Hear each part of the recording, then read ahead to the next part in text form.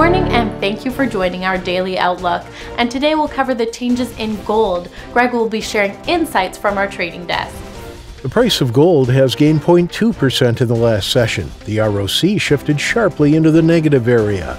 The euro dollar pair has lost 0.1% in the last session. The MACD is warming up and is now giving a neutral signal. The sterling dollar pair has remained as is in the last session. The ultimate oscillator has bounced upwards into overbought territory.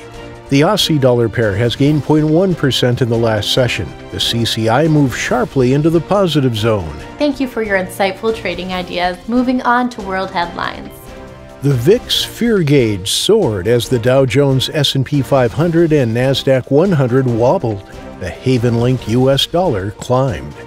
Bitcoin's 50% plunge during March has got major crypto whales bidding Bitcoin at around $8,800, according to market data. Facebook said it would stop taking political ads a week before the vote, fact check any claims of victory ahead of an official tally, and target posts which try to suppress the vote. Thank you. Now let's hear today's most important economic events. The German trade balance will be released at 400 GMT, the Eurozone's GDP at 700 GMT, the Eurozone's employment change at 700 GMT. The U.S. NFIB small business optimism at 800 GMT, the U.S. consumer credit at 1700 GMT, and the Japanese M3 money supply at 2150 GMT. We hope that you've enjoyed today's market outlook. On behalf of all of us here, we wish you a productive trading day.